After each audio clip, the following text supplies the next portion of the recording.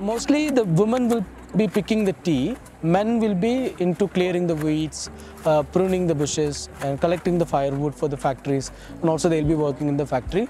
Sometimes when the crop is higher, they also uh, pick the tea leaves.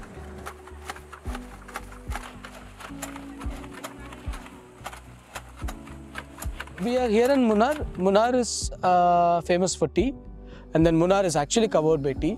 Uh, so we thought like when people are here in Munnar, they should experience what is uh, uh, based in Munnar. So we are here to experience the tea activities.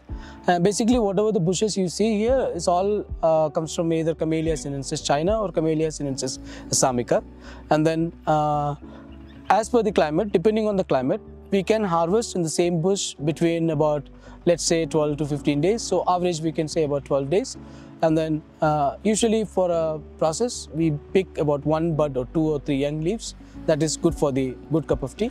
The tea, uh, basically, it's not a bush, it's a tree. So if we let them grow, it will grow like 13 or 14 meters high. So to uh, for a for easy to pick, it, it is in this height. So we prune them once in every five years. That's why you can see them, it's like a bonsai. So this is what happening here. And then you can see that ladies are picking.